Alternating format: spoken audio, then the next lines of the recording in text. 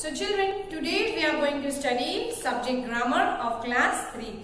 Okay, yes. So in the previous lecture we have completed chapter number 16. Now we are moving for the new chapter, chapter 17, can, should, ought to, must. Okay, now see on the page 76, a verb such as can, might or must that is used before another verb to show something is possible or necessary is called a modal verb अब हम लोग can might और to should ये कब use करते हैं? जब हमको वर्ब के पहले अनदर वर्ब के पहले हम ये वर्ब यूज़ करते हैं। क्यों? क्योंकि जो एक्शन हो रही है दैट इज़ अ पॉसिबल और not possible for that we are using can can not might must ये सारे जो वर्ब्स है, वो हम यूज़ करते हैं that are known as modal verbs Look at the sentences given below. The modal verb can or cannot is used to tell if it is possible for the to the given option अब हम लोग can और can not कब use करते हैं। देखने के लिए कि जो एक्शन हो रही है, वो पॉसिबल है।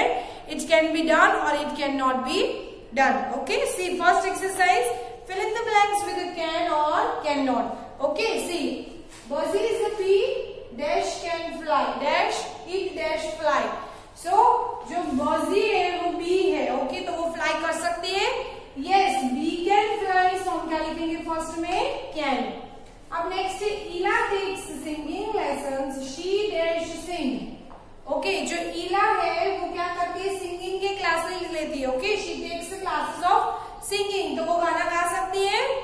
Yes she can sing because why she can sing क्योंकि वो सिंगिंग के क्लासेस लेती है इसलिए वो गाना गा सकती है।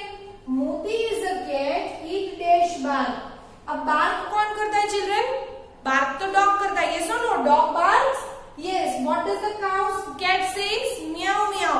Okay, so मोती जो है वो क्या है कैट है तो वो बार नहीं कर सकती she can meow meow okay so हम क्या लिखेंगे can not bark okay clear आप देखो next the Boeing is an aeroplane it dash fly aeroplane है वो तो फ्लाई कर सकता है obviously yes so fourth one में हम क्या लिखेंगे? कैन अब ये five number old mister Verma is deaf he dash hear deaf means what is the meaning of deaf जो सुन नहीं सकता है okay that is known as deaf okay so old mister Verma is deaf he dash hear अगर वो def है मतलब जिसको सुनाई नहीं देता तो वो सुन सकता है कुछ?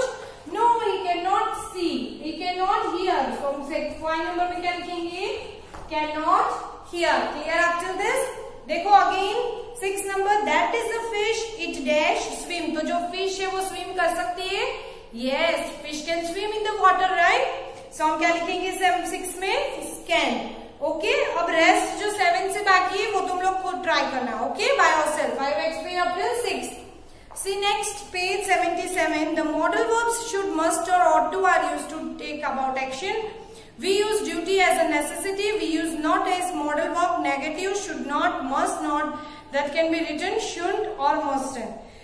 अब यहाँ पे तुमको लिखना है see write five simply rules that every child must follow हमको फाइव ऐसे रूल्स लिखने हैं। यहाँ पे देखो, ये पेज पे फाइव ऐसे रूल्स लिखने हैं जो कि चिल्ड्रन को फॉलो करने ही चाहिए कंपल्सरी ओके फॉर दैट हम क्या यूज़ करेंगे? शुड और या फिर मस्ट हम शुड कब यूज़ करते हैं।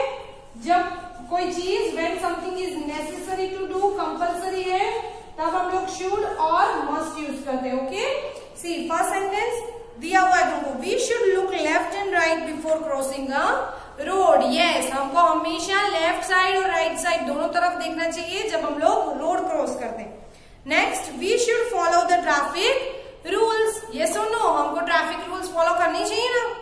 Yes we should drive the vehicle on right side हमको राइट साइड पे व्हीकल ड्राइव करना चाहिए। People must use the zebra crossing side people को कौन सी, जो पर्सन होते हैं, जो ड्राइव करते हैं, उनको कौन सी क्रॉसिंग यूज़ करनी चाहिए? Zebra crossing and the last one children should not play on the road जो छोटे छोटे चिल्ड्रन होते हैं चिल्ड्रन होते हैं, उन लोगों को रोड पे नहीं खेलना चाहिए। अब नेक्स्ट है make five sentences telling how well manner child ought to behave यहाँ पे तुमको ओट टू ये यूज़ करके बताना है कि चाइल्ड बिहेव कैसे करता है, अच्छे से मैनर्स में कैसे रहता है okay see well manner child would to speak softly मतलब जो चाइल्ड वेल मैनर मतलब जो एकदम बहुत अच्छा क्लेवर चिल्ड्रन होता है, जिस बहुत अच्छा बिहेवियर होता है, उसको क्या करना चाहिए? हमेशा सॉफ्टली बोलना चाहिए okay child would to go to school means child should always go to school every day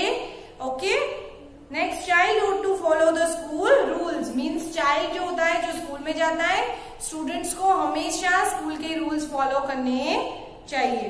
Clear now next fill in the blanks with must और मस्ट नॉट यहाँ पे क्या था? कैन कैन नॉट था। Must must not same पे जैसे हम चीज़ कर सकते तो कैन लिखा, नहीं कर सकते तो कैन नॉट लिखा। अब यहाँ पे जो चीज़ करनी चाहिए, उसके लिए मस्ट जो नहीं करनी चाहिए, उसके लिए must not see the road is very bad you dash take the route अब जो रोड है, यहाँ पे क्वेश्चन क्या है? The road is very bad road खराब है? तो हमको वो रूट नहीं यूज़ करना चाहिए ओके सो मस्ट नॉट तो मस्ट लिखेंगे okay apostrophe S then T लिखेंगे।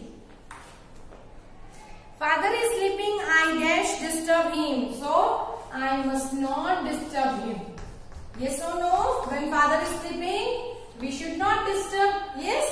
अब नेक्स्ट देखो the dog is sick we dash look after eat. So, dog जो है वो sick. He is very sick. Okay, is not well. So we should, we must take care of the dog. Yes. Now say four number five four number. I am very hungry. I guess eat something right away. So when we are hungry, we should we must eat at the time when we feel very hungry. Okay.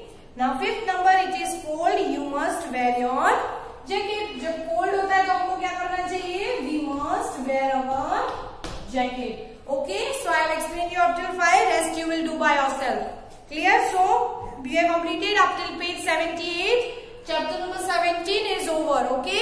So, we will meet in the next lecture. Till that bye bye thank you.